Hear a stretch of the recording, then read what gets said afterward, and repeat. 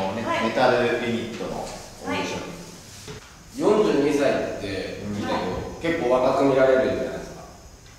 そうですね。結構若く見られますね。渋谷とか歩いてると直されますね。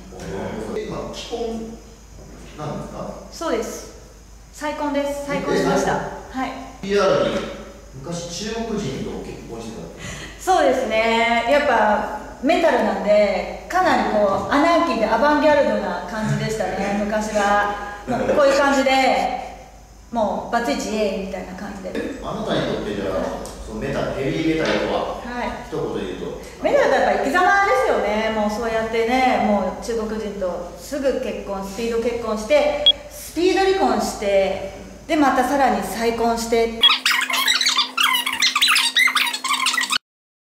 ピーメタルのあの魂です。魂。はい。ちなみにさっきからやってるこれはこれはもうあれですポーズポーズですポーズです。はい。これこれメメタルメタルはコーナーなんですよそれとアメリカ語でいいとなんですよ。大丈夫ですか？特に歌うはそうなんですよあ CD デビューしてるそうですそうです。それはこの4曲入りのマキシシングルを。それはどんぐらい入れたんですか？それは98枚ぐらい。入れて。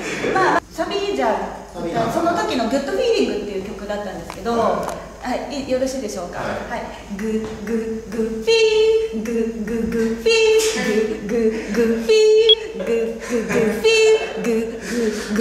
ちょっと今の曲はポップだったんで、これメタルオーディションなんで、今の曲を自分なりにメタル風にアレンジして歌ってもらっていいですか。グッグフィーグ。はい。グググ。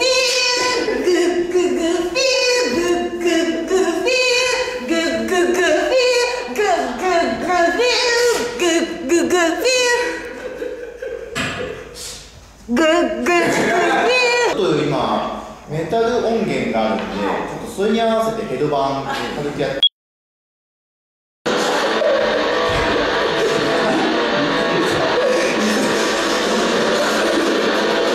今もう。走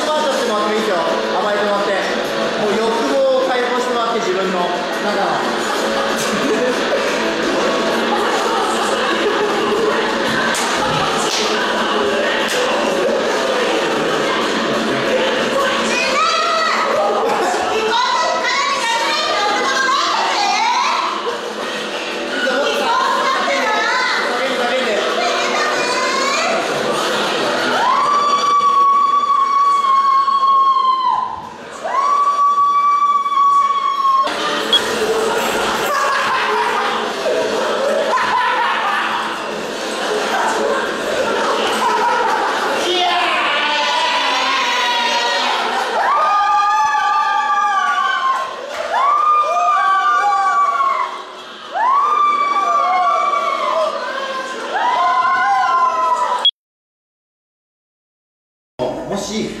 メタルユニットに入ったらはいどんなことをやりたいですか？